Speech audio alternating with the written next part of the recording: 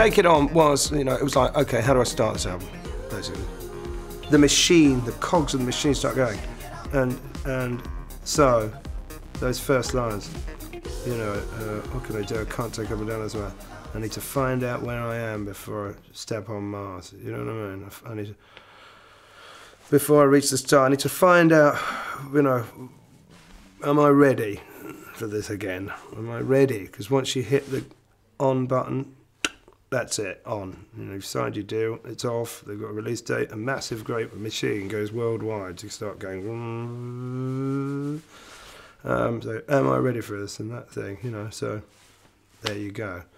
So, and then there was that thing of, you know, in, in a kind of determination thing. You know, a lot of them are kind of channeling my own drive and, uh, you know, you know, and, and uh, just as somebody before somebody said to me, that's like Taylor Swift. Like I wrote it before Taylor Swift, Shake It On. We've got the bloody dates there on the machine. So it's just somebody said, it's just like Taylor Swift. How are you going to get away with that? So, oh, give me a break. But uh, I know it's going to show. Uh, oh, I know it won't be long. I know it won't be long before I'm kind of back out there. I can, I can do this.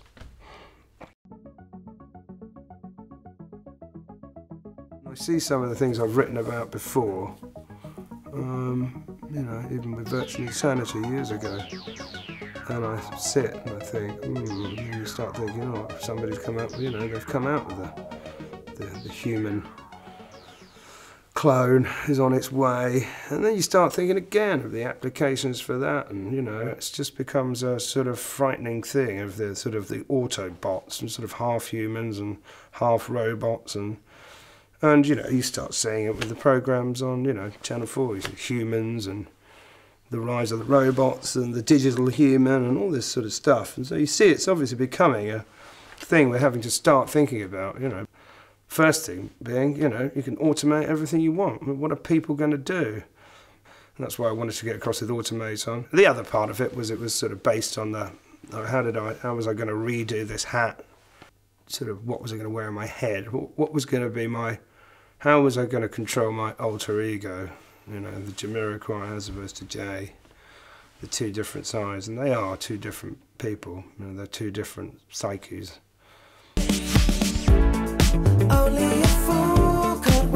Cloud Nine. That was very much a muttering up. Uh, I can't seem to find my way around you.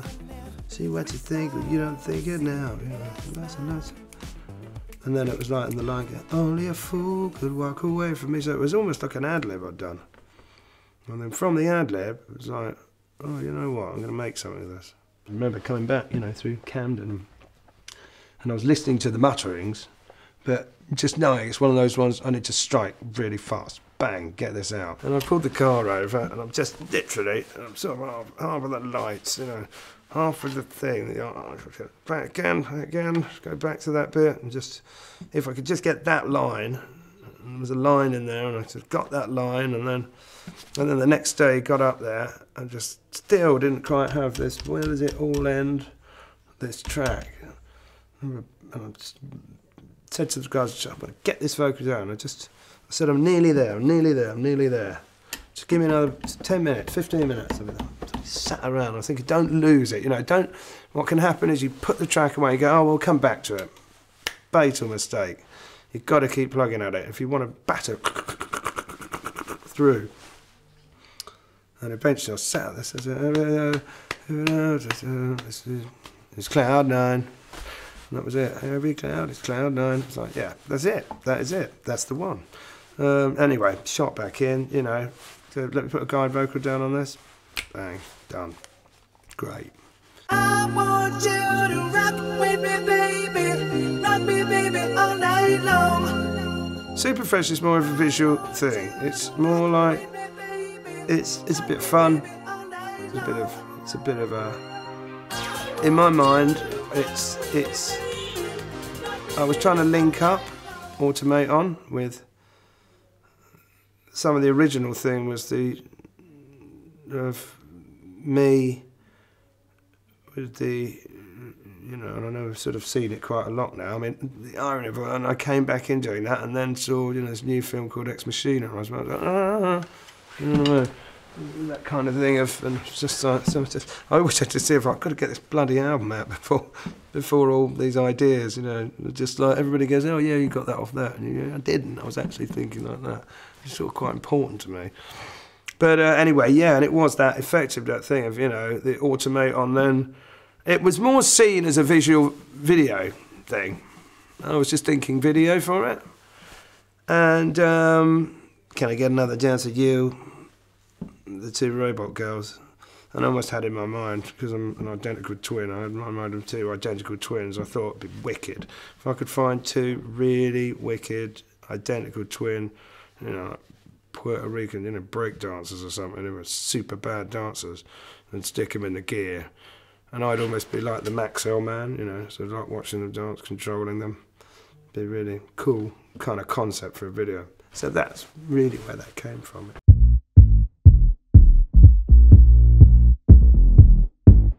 I had in mind um, almost, uh, you know, you see sometimes you see some of these, um, you know, quite heavy kind of sort of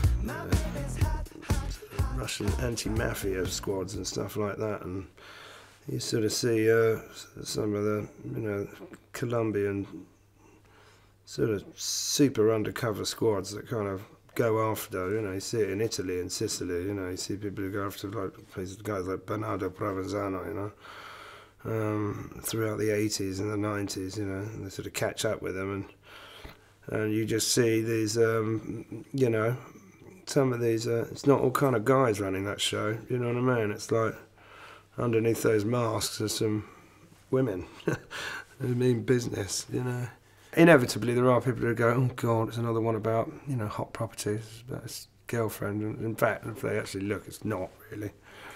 And that's, but it's, but it's, it's, it's, it's, you know, interwoven into that kind of thing of like, oh yeah.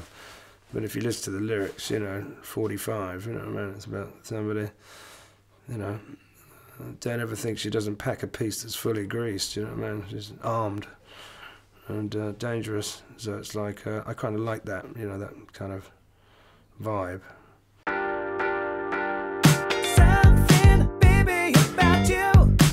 It's sort of loosely based on my own experience, you know, and um, you know, just it's like when you've met someone but you've got to sort of leave or one of those shorter romances that you've had, and you just think, you know, and you just can't stop thinking about somebody. I wanted as well with those things for people to hook onto the chorus, you know, and just have something as well that was just singable. You know, I kind of wanted that without going, ooh, you know, which is a, one of the dumbest ways to make people, you know, get onto your thing these days. I hear far too much on stuff and it's a really cheap way of people singing your track, you know. But I wanted something that people got onto, so yeah, it's a reasonably self-explanatory song, but um, but um, yeah, it's a nice nice track, you know. I'm kind of I'm kind of into it. Uh, I'm saying the trouble is because because I try not to. It's really weird. You finish the album, and you've heard it so much, and then before it goes off, just in case there are any mistakes, you decide not to listen to it at all because otherwise you just end up hating it before you even not because because you've heard it so much. You think if I don't clean this out of my ears soon, um, it's going to drive me insane. So then, of course, now we've gone into rehearsals. I've got sheets of paper going, everybody else now I'm going. What is the lyric for this? Um, I'm totally confusing my lyrics. I need to get on with that next week.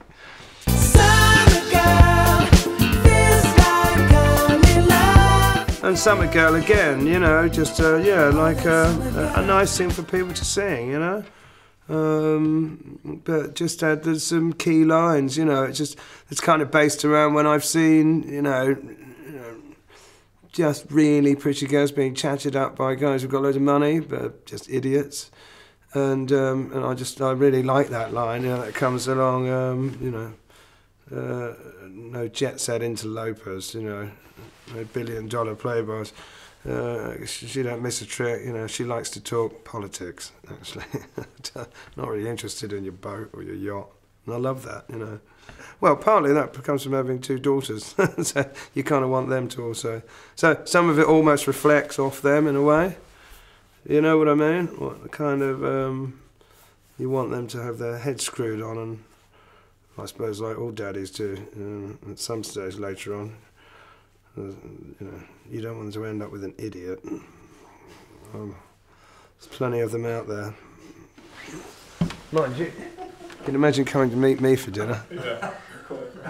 Uh, Dad, can I bring my boyfriend round? Yeah, sure you can. What do you do, Sonny? oh, that'll be a great day.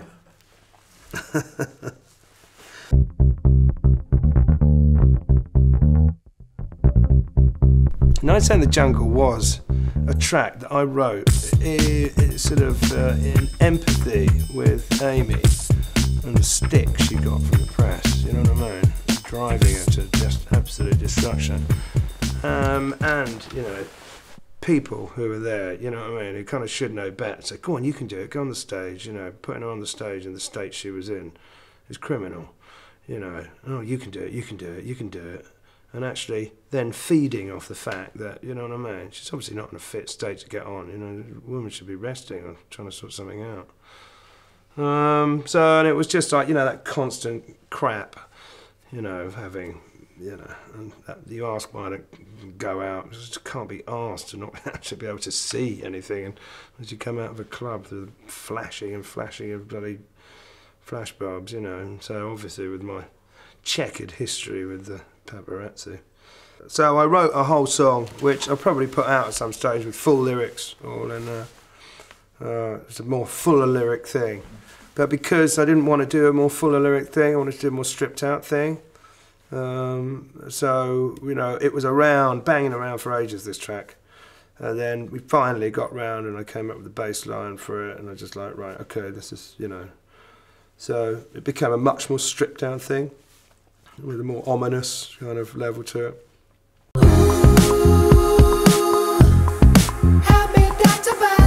The reality is when you start and you know, when you start seeing, as if people sort of, you know, people go on about they saw, you know, there's a guy running away from you and some cop just shoots him in the back.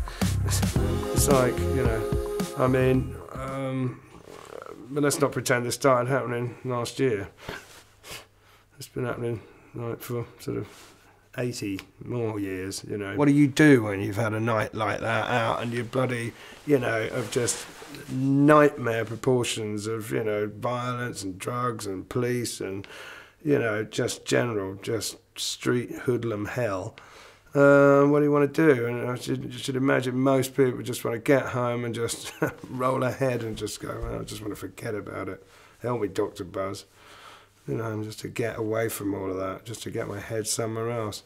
And funnily enough, after I'd written it, I watched, you know, some guy was in a documentary and it was on the television. And he said, you know, he said, he was just saying after all this, he just, it's just, man, I just want to get home and I just want to get high. So all I want to do is to forget about all this shit on the street, you know. I just want to get home, get wasted. And, uh, and so I, you know, I felt that it, the track had nicely come together for that.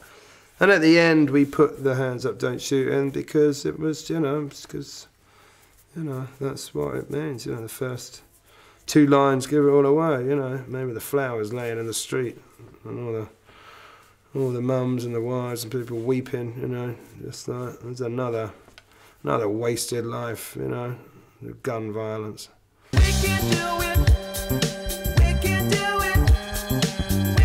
We could do it again. It's just a kind of, it's just, uh, it's one of those songs that, that, if you don't get the other part of the lyric of, you know, tell you something you need to know, you know, it's like, you know, it's you and a, and a woman, you know, you and somebody else, you know, we, we can do it. We can make that, we can make our thing work. But I also like it for the fact of even if you take that apart, just the whole thing of we can do it. I can prove it. We can do it. I can love you, baby, we can do it, you know. It's nice, sweet kind of vibe, but for some reason I always have in my mind the video for that of like the old Blues Brothers with the chicken wire. It's the one you'd kind of bring out at the festival if it was going wrong. I can love you, baby. Tell it. Yeah, again, cabbage. it's just, you just keep grooving. It's just got a nice feel to it. Yeah, I mean, funnily enough, when it came along, I was like, are people going to like this? And then, um, then it was, uh, and then we had a little. We were we were making it, and you know, we came around a bit in the swimming pool, you know, kids and whatever, and friends of mine, and um, and um, I was Jamaican, you know, and then. Uh, and all there, and I was sort of, we were just, you know, doing our thing. Well, the doors, of, doors were open, I was watching them, and, uh, and I could just see and starting to bop to it, you know. Sometimes my world is changing, ticket, ticket, ticket, ticket, ticket, ticket, and I was just like, yeah, that's cool, it's gonna work. Never got a chance to dip so far inside your mind. It's kind of like quite an angst, you know, relationship task to, to a driven track, you know. And uh, it's kind of just relates to some of my badder days, you know. It's just like, you, know, you really need that, don't you? So it's like, I don't need no vitamin. Get some funk and love in your life, girl. so yeah, it's just it's just a kind of me angsting out kind of uh, vibe. Um, now you've reminded me of it. All I'm doing is sitting and thinking, what's the first line? Um, I'll never get the chance to do the things I really know. I'm thinking all the time I used to want to be with you, but now things are changing. Somehow you can make me red, and then you make me blue. Uh, uh, you see what? You know, just, yeah. Anyway, that's what it is. it's hard to get my head around it. I'm getting confused. Last track, which is uh, you know about my button. so, uh, which was, yeah, it's, it's just there. I think it was something that I wanted to do. And we talked about it. And that was like, oh, 11 tracks is fine. I said, nope, gonna have to do it. Um, and it's quite an emotional track for me. Um, it's, yeah, you know, it's something, but it's, uh, it's, um, yeah, it's good. It's good. You know, I think it's great. I think it's simple. I think it's come from the heart um, which it should do. And I think it's not over the top. It's very simple. Um, and I wanted it to be what it is. It's exactly what I wanted it to be. There's nothing I would change about it. Um, and I think uh, um, it's a really nice, nice way to end the uh, album. That there was, and it's very, it's a very important point that you're making there. It was absolutely imperative that it wasn't sickly sweet, and it was really important and getting the lyrics together for it was um, not difficult, but not easy either, because there was so much you wanted to say, and it was how you said it, and that is what's so hard about it. And I'm interested to see whether people actually really like that track, and I think people do. Although it's simple and it's easy enough to say, oh yeah, I'm going to write a track about my daughter. But it's not that easy to do. You've got to know that you can do it and do it right. And, you know, obviously, so that when she doesn't grow up, she doesn't go, What is that shit you wrote for me? You've caused me a lot of problems there. Um, um, so yeah, it was. That's that's you. You've sort of brought up something that's that is important, which is there that it actually went to the core of what I wanted to say, and every word is absolutely true for true. It's just perfect. It's exactly what it is. And when I do do what I do in the song, when people hear it, it's exactly that. That's exactly what it is.